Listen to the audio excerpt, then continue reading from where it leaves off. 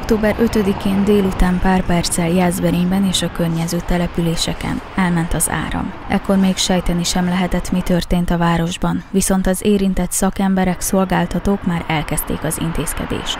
Pontosan 12 óra 00 perckor szólt a szolgáltató diszpécser szolgálata, hogy a Jászberényi trafótelepen erős füstölés tapasztalható a vezérlő helyiségből, épületrészből.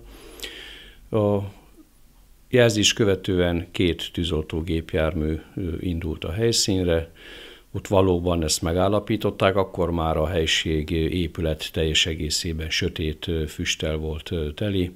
Először az, hely, az adott helyszín adottságait figyelembe véve a áramtalanítás volt az elsődleges cél, amely hosszú egyeztetést követően megtörtént, addig porraloltóval avatkoztak be a kollégáim, majd a teljes áramtalanítás bebizonyítását követően az érintett pince és földszinti helyiségben lévő izzó elektromos vezérlőszekrényeket, illetve kábelalagutakat habbaloltással végül pedig vízzeloltással lokalizálták. A mindvégig légzőkészülékben végrehajtott oltás miatt további két rajt kértek segítségül. Nagykátáról, illetve 60-ból érkeztek tűzoltók.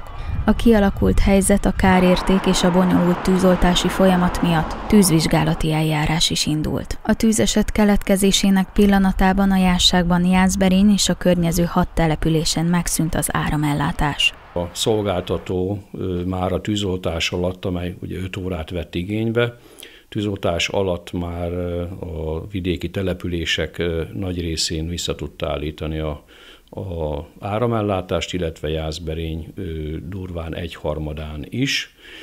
Majd a tűzoltás követően a szolgáltatónak átadtuk a terepet, és hogy a helyzet felmérését követően műszakilag átgondolva elkezdték a helyreállítást, és információink szerint hajnalban a város nagy részén az áramellátás el megvalósult.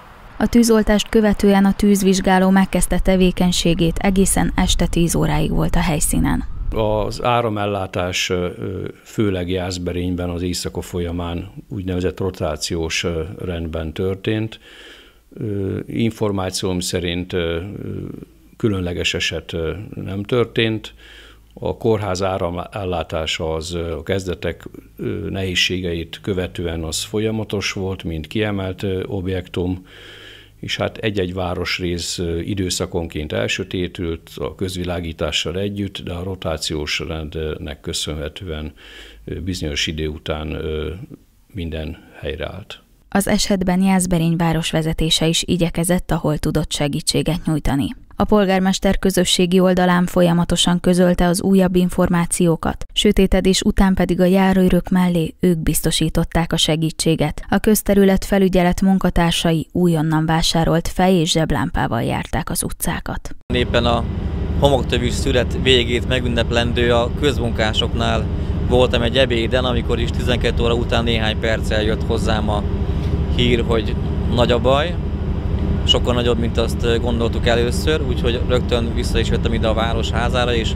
azonnal felvettem a kapcsolatot a katasztrófavédelem és a rendőrség vezetőivel, akikkel gyorsan meg tudtunk állapodni abban, hogy egész nap tartjuk a kapcsolatot, és igyekszünk az embereket tájékoztatni arról, hogy hogyan megy a mentés és a helyreállítás.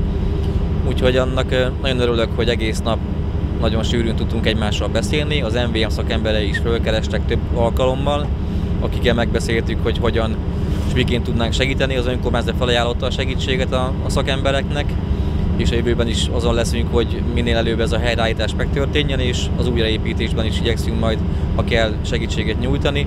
A polgármester köszöni mindenkinek az együttműködését, a segítséget, a lakosoknak pedig a türelmüket ebben a rendkívüli helyzetben. Itt a, a lakosság is látja, a város több pontján vannak ilyen nagy teljesítményű generátorok, ezek biztosítják most többek között a, a város áramellátását. Bízunk benne, hogy ezeknek minél kevesebb zajhatása lesz, minél kevesebb zavaró hatása lesz, és minél kevesebb időig lesz szükség, hogy kérem ebben is a lakosság türelmét és megértését. A térség legnagyobb foglalkoztatójánál a Jászplasztik Kft-nél csütörtök délóta áll a teljes gyártás. Az irodai munkák elvégzésére van elegendő önálló elektromos erőforrásuk, saját vízellátásuk is áll. Jelenleg a városi vízhálózatról vételeznek vizet amíg a saját szivattyújukat nem tudják beüzemelni. Ennek várhatóan következménye lesz, hogy a magyar Suzuki gépjárműgyártás és a Samsung is leállásra kényszerülhet az áru és az alkatrész hiány miatt. Éjfél környékén a cég adott segítséget az energiaszolgáltatónak, mert raktárkészletükben volt olyan keresztmetszetű kábel, mely a helyreállításhoz szükséges volt. A cég információi szerint talán pénteken délutánra állhat helyre úgy a hálózat, hogy ők is kaphatnak stabil elektromos ellátást, és megkezdhetik a saját helyreállítási munkálataikat. Nyilatkozta ifjabbi Kaszalajos a Jászplasztik Kft. tulajdonosa, kereskedelmi és műszaki igazgatója. Szerkesztőségünk felkereste az MVM EMAS áramhálózati Kft. munkatársait, megkeresésünkre adásunk zárása előtt pár perccel e-mailben válaszoltak. Tájékoztatójukban az szerepelt, hogy a tüzet az alállomási 22 kV-os villamos elosztó berendezésben keletkezett, villamos eredetű üzemzavar bekövetkezésére lehet visszavezetni.